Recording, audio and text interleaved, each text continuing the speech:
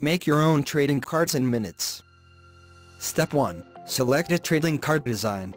Click on the card design, it will take you to the online card editor.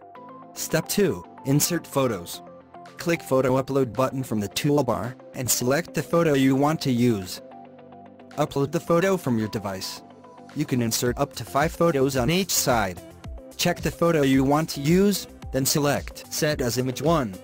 If you are inserting more than one image, Image 2 will be on top of the Image 1. Step 3. Adjust the photo. After the photo is inserted, click on the photo and move it to change the photo position. You can scale the photo by dragging the corner squares. Rotate the photo using the rotate button if is needed. Step 4. Adjust the text.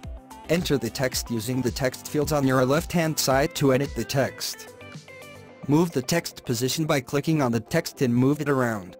To change the font type, font size, and font color, simply select the text first, then use the toolbar on top to change it.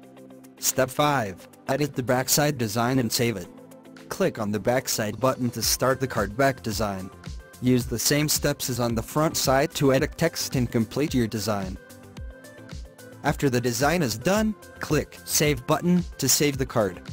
Give a file a new name will work as Save As. So if you need to create multiple cards using the same template, make sure you give each file a new name, so a new file will be created. This is how easy to create your own trading cards in 5 steps. Thank you for watching.